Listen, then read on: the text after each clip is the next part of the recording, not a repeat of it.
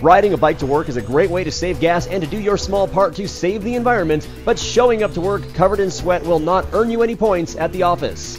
FlyKly is a new idea in e-bike technology, neatly packaged in a wheel hub design.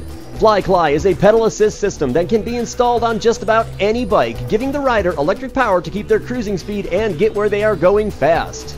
The lightweight 9 pound system, including the 250 watt electric motor and 36 volt lithium ion battery array, is bundled smartly in a waterproof housing on the back wheel. The system uses Bluetooth to communicate to a smartphone app to set the top speed, as well as other features like wheel locking, favorite routes, and even bicycle tracking through GPS should your bike be stolen. FlyKly has a range of up to 30 miles at the top speed of 20 miles an hour and uses regenerative technology charging the batteries when it is not maintaining the cruising speed.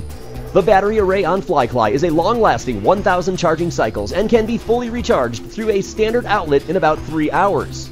The FlyKly system will be available in the spring of 2014 and will come fully assembled in your choice of 8 colors just in time for summer cruising season. I'm TK for TechGeek.